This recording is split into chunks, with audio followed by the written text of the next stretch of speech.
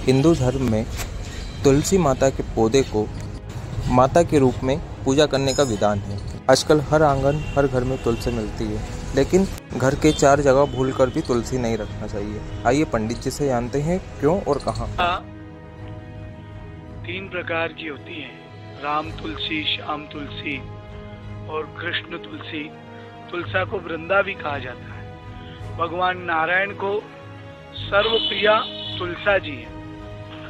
तुलसा जी का विवाह भी शालिग्राम भगवान के साथ किया जाता है। लेकिन यही तुलसा यदि गलत दिशा में लगा दी जाए तो घर में लाभ होने की बजाय घर की बरकत चली जाती है। इसलिए तुलसा जी को घर में स्थान दे तो सोच समझ कर देना चाहिए। ऐसी जगह पर तुलसा जी ना लगाएँ, जहाँ पर प्रकाश ना आता हो, जहाँ तुलसा जी हो वहाँ सूर्य की रोशनी होना चाहिए। ऐसी जगह पर तुलसा जी ना लगाएँ जहाँ पर प्रकाश नहीं आता ऐसी जगह तुलसा जी ना लगाएँ जहाँ पर तलघर हो। बेसमेंट में तुलसा जी ना लगाएँ। और ज़मीन पर तुलसा जी ना लगाएँ।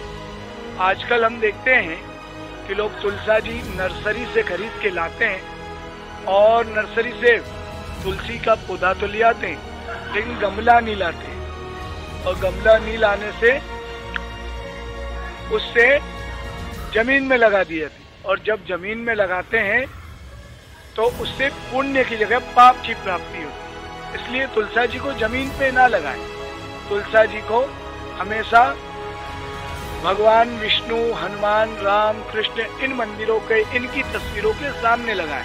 गणेश जी और शिव जी की तस्वीर के सामने तुलसा जी ना लगाएँ, जिससे वह देवता नाराज़ होते हैं। क्योंकि शिव जी और गणेश जी को तुलसा जी वर्जित है।